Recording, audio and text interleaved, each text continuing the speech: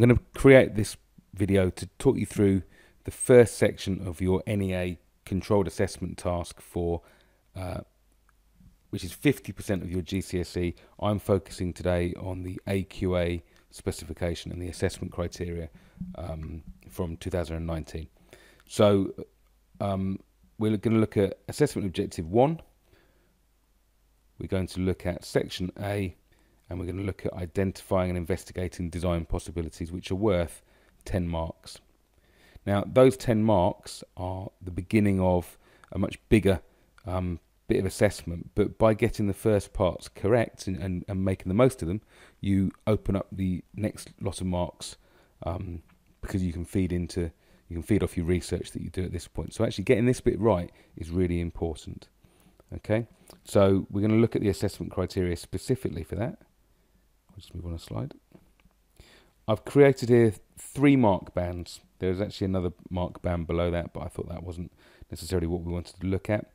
And so the top mark band on the left here is showing us marks from 9 to 10. We've got 6 to 8 and we've got 3 to 5. Now, hopefully you're going to be aiming for the higher mark band. I'm going to point out where some of the differences are. Today we're only going to look at the top three sections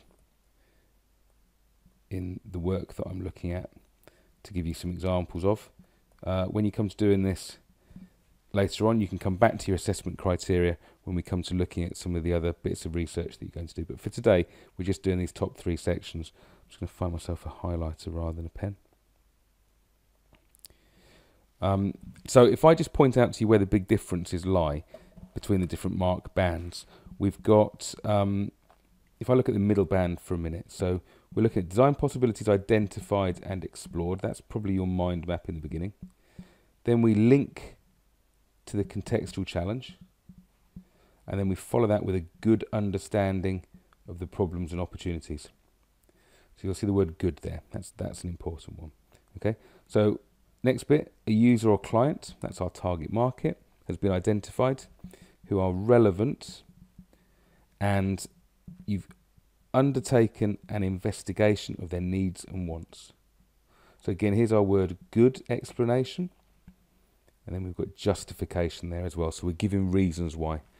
And then the final bit is a detailed investigation um, into the work of others. This is existing products that influences ideas. Now, if you look at the difference between the middle band of 6 to 8 and the higher band, we're looking at an excellent understanding at this point. We're looking at an excellent understanding. We're looking at the user or the client has been clearly identified and is entirely relevant. So that's maybe an expert or someone who works in the field, um, something that, that's really very detailed. And then you've undertaken a comprehensive investigation. Comprehensive means really thorough and really, really good investigation that keeps digging. Um, and look, clear explanation and justification. So everything is annotated and you're giving loads of information about your design decisions. So you need to write quite a lot for that. Okay, and then finally, if we do comprehensive, there's that word again. That means thorough, lots of detail, uh, and into the work of others. Now, that's existing products, but it might be other designs that are similar. So the difference really between the top band and the lower bands is we're looking at goods and we're looking at goods and we're looking at good here and then if we look at the three to five mark band, we're looking at adequate and some. So that's where you only do a little bit. Now remember there's a mark band below this as well. So make sure you're giving plenty of information. Okay, now I'm going to just zoom in on this one a little bit. This is the one that if you wanted to kind of come back to checking um, where you go, and this is the slide that you want to look at. And we're going to look at now uh, design possibilities, or rather you've done with your mind map.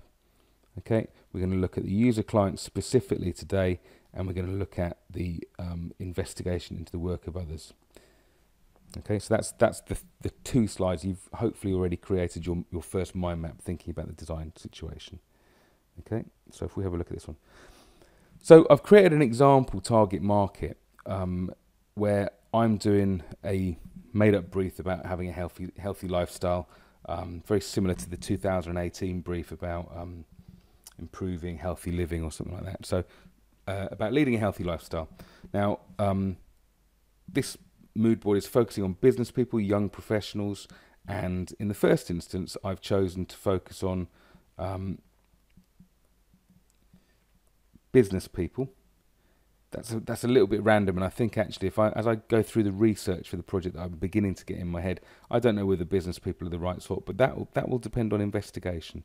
Okay, so I've chosen to focus on people who are reasonably well off, meaning they've got a bit of disposable income, and they're probably younger people rather than older people. Okay, now I'm saying here that I've made some assumptions and generalizations. That means I'm kind of at this point making up my information because I'm going to go out and find these people and I'm going to go and do my target research, target market research later on. So at the moment, I'm generalizing a little bit. Um, again, I think the target market would be simple and like simple and functional products, and they're not too fussy, so nothing overly styled. Okay, um, I think it's important for this that maybe they enjoy a range of leisure pursuits. So when I come to looking at, at how I design for them, I think about things like um, there's a Fitbit there, I've got the, the new um, new iPhone, Fitbit. I'm thinking about ecological architecture. Um, I'm thinking about sporty lifestyles, possibly about healthy eating. Um, so as I move through this project, I use some of that information to um, to help me. So one of the tasks that you need to do is to create a sheet like this, which is creating a profile of your target market and collecting examples of products that they probably already use or probably are interested in. Okay, and then we'll see where that goes um, when we come to doing further research and asking their actual opinions. Okay, so that's the target market. So I would suggest that if you if you were giving yourself an allocation of time, that's probably to do that correctly about an hour. Um, half an hour, maybe if you, if you do it relatively quickly, if you know what you're doing, half an hour to an hour. You're then going to follow up with your target market research later on. Next thing I'm going to do, if you remember, we were looking at um, the work of others was one of our assessment criteria. Um, the brief that I'm coming back to is the um, encouraging healthy living, uh, and that I've decided to focus in on the kitchen area, maybe healthy eating, possibly um, with children.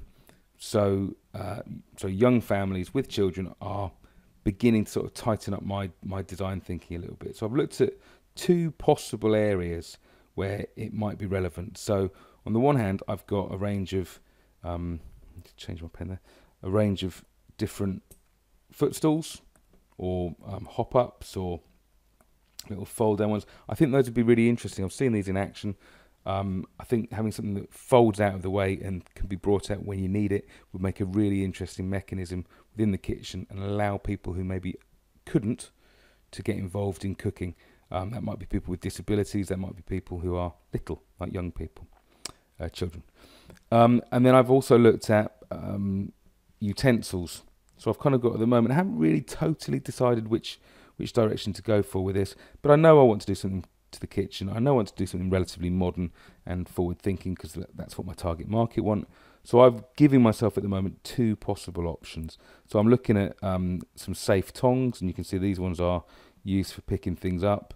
Uh, this is a comfortable grip which is used for chopping herbs, very similar to a, to a pastry maker actually. Um, this one I think is specifically designed for people who maybe um, have have additional needs in terms of um, weak wrists or arthritis or something. Uh, but I thought that might be quite an interesting one in terms of ergonomics, quite a good possibility.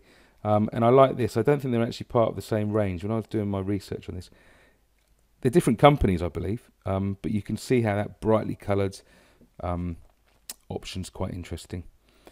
And then what I've done is I've talked about on here, I'm, I'm referring suitable for the brief of helping to create a healthy lifestyle. I've said where I'm going to do it, concentrating on the kitchen, and I'm making it specifically safer for children to cook with parents. I've talked about my target market because they like modern and smart products, which we saw on the previous page. And I've looked at maybe some of the properties of the materials, so brightly coloured. I've talked about polymers and I've talked about stainless steel. So I'm trying to be specific. I've then given myself a little bit of guidance about what I'm going to do next. So you're always showing the examiner that you're planning ahead. As a designer, you're, you're, you're going to be telling your manager, this is what I'm going to do next. Okay, so the next thing I'm going to do here is I'm going to do some research with parents and children to find out what they think might help them to cook.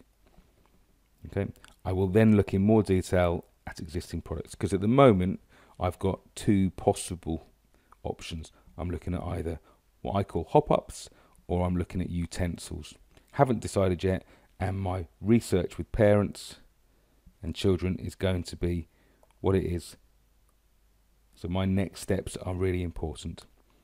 Okay, so hopefully that'll uh, help give you a starting point. And again, I would say existing products. By the time you've annotated some of these, I, I, some of these would benefit from a little bit of talking specifically about their design features.